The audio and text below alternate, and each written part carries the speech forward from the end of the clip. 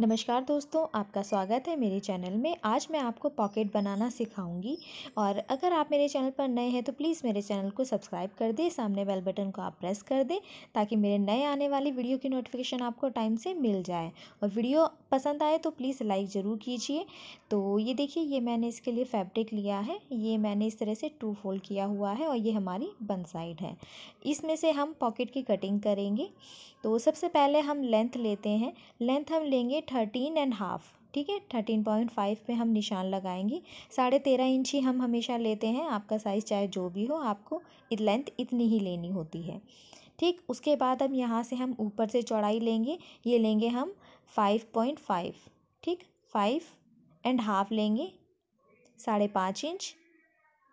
ऊपर से हम थोड़ा कम लेते हैं और नीचे से थोड़ा ज़्यादा, ठीक? अब नीचे की साइड से जहाँ पर हमने निशान लगाया, वहाँ से हम नीचे से लेंगे साढ़े छः इंच सिक्स एंड हाफ़ पर हम ये निशान लगाएँगे। नीचे से वन इंच एक्स्ट्रा होता है, ऊपर से थोड़ा कम और नीचे से थोड़ा ज़्यादा, ठीक? ये हमने दोनों निशान लगा दिए हैं। अब इसके बाद इस निशान को ऊपर के निशान तक हमें मिला देना है। पॉकेट आपको इसी तरह से लेना है, इसी तरह से बनाना है और सेम साइज़ आपको लेना है, चाहे आप किसी का भी बना रहे हो, ठीक? अब इसे हम इस तरह से इसमें गोलाई दे देंगे। ठीक नीचे की साइड से हम हल्की सी इसमें ऐसे गोलाई दे देंगे। और इसके बाद इसे हम कट कर देंगे। बहुत ही सिंपल है, पॉकेट बनाना बहुत ही आसान है और ये बहुत ही इजी तरीका है। इससे आपको कभी कोई प्रॉब्लम नहीं होगी पॉकेट कटिंग करने में और सिलाई करने में। तो इसे हम सीधा सीधा कट कर देंगे।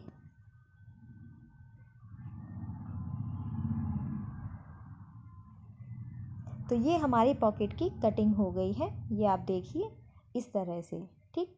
और ये दूसरी साइड से बंद है और हमने खुली साइड से इसकी कटिंग की है। वो दूसरी साइड हमारी बंद साइड है, ठीक? तो ये हमारी कटिंग हो गई है। यहाँ से हम इस तरह से इसे खोलेंगे, ठीक? ये हमारी पॉकेट की कटिंग हो गई है। अब इसे हम किस तरह से लगाएँगे, ये मैं आपको बताती हूँ। तो ये देखिए, ये हमारा प्लाज़ो है, ठीक? ये हमारी फ्रंट साइड है प्लाज़ो की। बेल्ट हम हमेशा फ्रंट साइड की तरफ़ ही लगाते हैं, ये आप ध्यान रखिए और ये हमारा फ्रंट साइड है। इसमें मैं कैसे समझाऊँगी वो आप ध्यान से देखिएगा। इसकी जो, ये जो प्लाज़ो है, उसकी जो वीडियो है, उसका लिंक मैं आपको डिस्क्रिप्शन बॉक्स में दे दूँगी। वीडियो बहुत लंबी हो जाती है, इसलिए मैंने अलग से आपको पॉकेट काटना बताया है। और सेम वीडियो में बताती तो बहुत ज़्यादा लंबी हो जाती वीडियो, इसलिए अलग अलग मैंने वीडियो बनाई है। ठीक तो अब ये देखिए यहाँ पर, ये जो हमारा प्लाज़ो है, ये मैंने बीच में से सिल लिया है, ठीक है? आसन की साइड से मैंने सिल करके इसे तैयार कर लिया है। अब ये जो ऊपर की साइड बेल्ट है, बेल्ट भी मैंने इसी में रखी है, ये मैं फुल इलास्टिक जिसमें डालते हैं, उस तरह का ये हमारा प्लाज़ो पैंट है। तो ये देखिए यहाँ पर हमने जितनी भी आपकी इलास्टिक है इलास्टिक के अकॉर्डिंग आपको बेल्ट कट करनी होती है। मैंने वीडियो में भी बताया आपको। तो हमें क्या करना होता है? इतनी हमें तैयार चाहिए, ये जो मैंने निशान लगाया हुआ है, ठीक?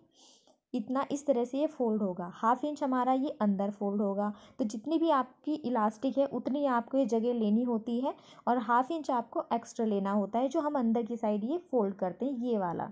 ठीक इस तरह से आपको बेल्ट लेनी होती है। क्योंकि इलास्टिक की चौड़ाई अलग अलग होती है तो आप अपनी इलास्टिक के अकॉर्डिंग ही ये लें बेल्ट, ठीक? तब देखिए यहाँ पर हम किस तरह से और कहाँ पर लगाएँगे पॉकेट, ये आप समझिए।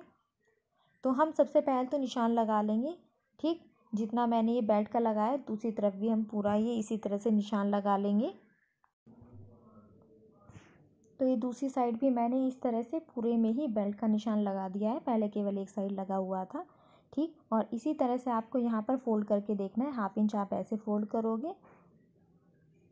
और फिर जो हमने निशान लगाया है, इसे हम अंदर तक फोल्ड कर देंगे। हमारी रेडी लेंथ होती है प्लाज़ो की, ठीक? पेंट प्लाज़ो है ये। और इसे इस तरह से हम जैसे ही फोल्ड करके देखेंगे तो ये हमारी इस तरह से बेल्ट रेडी होगी सिलाई करने के बाद, ठीक? तो हम यहाँ पर हाफ़ इंच देखेंगे। ठीक? हाफ़ इंच यहाँ पर हम निशान लगा लेंगे इसमें। और यहाँ पर हम अपनी अपनी जो हमारी पॉकेट है वो यहाँ से अटैच करेंगे। तो ये मैंने निशान लगा लिया, ये तो हमारी उल्टी साइड है, सीधी सीधी साइड में इसी तरह से निशान लगा लूँगी। ठीक? आपको इसी तरह से चेक करना है, इसी तरह से निशान लगाना है और फिर आपको इसमें पॉकेट अटैच करनी है। और ये क्योंकि फुल इलास्टिक वाला है, इसका तरीका ये है और जिसमें केवल हाफ़ इलास्टिक होते हैं और फ्रंट में बेल्ट होती है बुकरम वाली, उसका अलग तरीका होता है बेल्ट लगाने का, सॉरी, पॉकेट लगाने का। तो देखिए, इसमें हम दूसरी साइड भी इसी तरह से निशान लगा लेंगे, नाप करके, क्योंकि दोनों साइड हमें पॉकेट लगानी है। तो दोनों साइड मैंने ऐसे निशान लगा लिया, अब इसे हम सीधा कर लेंगे। ये हमारी फ्रंट साइड है और फ्रंट साइड से ही हम यहाँ पर पॉकेट लगाते हैं। तो ये मैंने निशान लगा लिया, हाफ़ इंच तक। ठीक? और इसी तरह से हम दूसरी साइड भी निशान लगा देंगे और सेम, दोनों साइड हमें सेम तरीके से ही बनाना है। अब ये हमारे पास है, हमारी पॉकेट जो हमने कटिंग करके रखी थी। इसमें भी हम हाफ़ इंच पर ये निशान लगा देंगे। ठीक, अब हमने पॉकेट को इस तरह से खोल लिया है। अब यहाँ से हम, क्योंकि हाथ डालने के लिए आपको कितना चाहिए होता है? साढ़े छः इंच पर आपको ये निशान लगाना होता है, ताकि आपको हाथ डालने में दिक्कत ना हो, ठीक? हाफ़ इंच पर ये लिया, हाफ़ इंच का मैंने ये निशान लगाया, और अब सीधा सीधा नीचे तक मिला दूँगी, और हाफ़ हाफ़ इंच की जगह छोड़ कर ही ये मुझे सीधा निशान लगाना है, ठीक? ऐसे हमने ये निशान लगा लिया पॉकेट का हमारी, और इसी तरह से इसी के ऊपर ऊपर हमें सिलाई करनी है। तो हम इसके ऊपर, इस निशान के ऊपर ही अपना ये निशान रख करके और तब इसमें सिलाई करेंगे। ठीक, यहाँ पर हम सीधा सीधा इस निशान के ऊपर ऊपर सिलाई कर देंगे। तो इसे हम सीधा इस तरह से रखेंगे। और अब सीधा इसमें सिलाई लगा देंगे।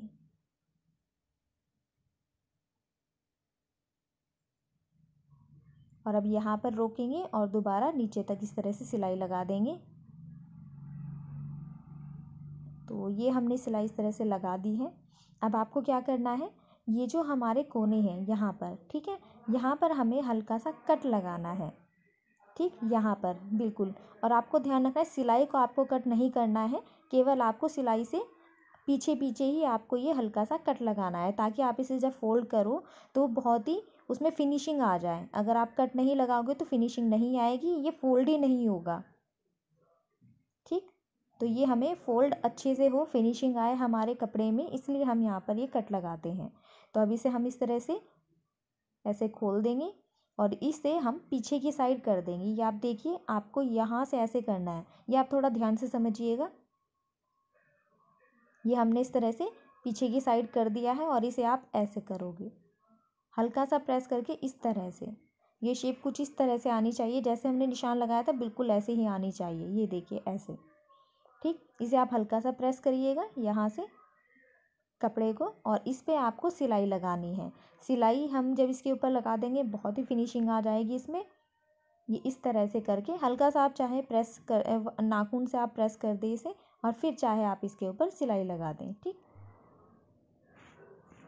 तो अब इसके ऊपर भी हमें सिलाई कर देनी है।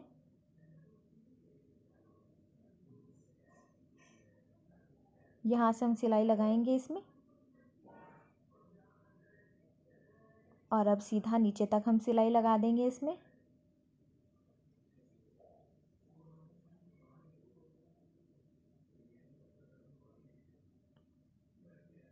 और अब दोबारा से हम इस तरह से इसे घुमाएँगे और सिलाई लगा देंगे। तो ये हमारी सिलाई हो गई है। ये देखिए आप, ये हमारी सिलाई इस तरह से हो गई है। अब जो आगे का स्टेप है, आप इसे बहुत ही ध्यान से देखिएगा और बहुत ही ध्यान से देख करके समझिएगा कि किस तरह से ये पॉकेट बनेगी, ठीक? क्योंकि अगर आप पहली बार बना रहे हैं तो आपको थोड़ा सा इसमें समझने की ज़रूरत पड़ेगी। तो अब यहाँ से देखिए, कपड़ा आपको कैसे लेना है? ये इस तरह से हमारी पॉकेट ऐसे दिखेगी। तो ये इस तरह से अब आपको क्या करना है? ये जो हमारा ये बाहर का हिस्सा है, इसे हम ऐसे पकड़ेंगे, ठीक? और इस तरह से इसे फोल्ड कर देंगे, ठीक? और नीचे की साइड से हम इसमें सिलाई लगाएँगे। ध्यान से देखिए मैंने किस तरह से कपड़े को रखा है, किस तरह से पॉकेट को रखा है और किस तरह से मैं इसमें सिलाई लगा रही हूँ। ठीक है सामने की साइड है और मैंने नीचे की साइड से इसमें अब सिलाई लगानी है।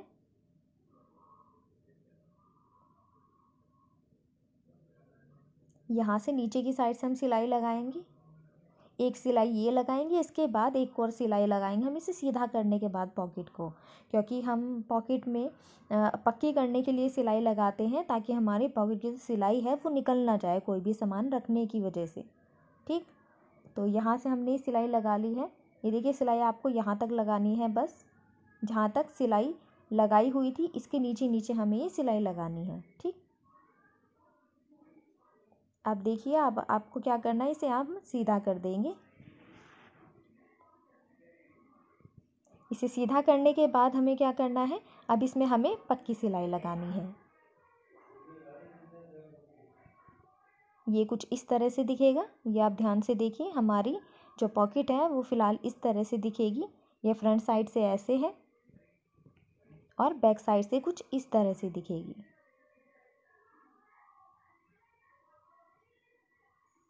ये कुछ इस तरह से।